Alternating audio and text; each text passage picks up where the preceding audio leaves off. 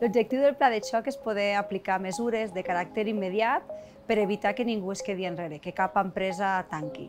Són accions per facilitar la reactivació del teixit comercial, turístic i empresarial de la parròquia. El que es pretén és anticipar-nos per pal·liar els efectes negatius, conseqüència de l'aturada en sec de l'activitat econòmica per la crisi sanitària. Totes les propostes han estat treballades eh, conjuntament amb el teixit econòmic i associatiu de la parròquia i des del Comú hi posarem tots els mitjans eh, disponibles per fer-ho possible.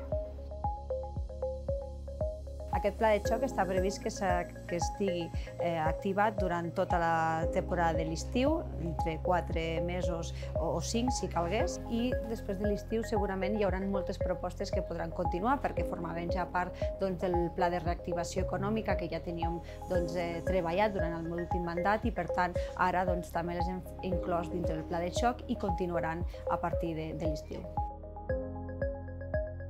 S'han previst mesures específiques pel pas i per encamp, concretes per cada vila i per cada casuística de cada població. I també doncs, anirà evolucionant a mesura que també evolucioni la pandèmia.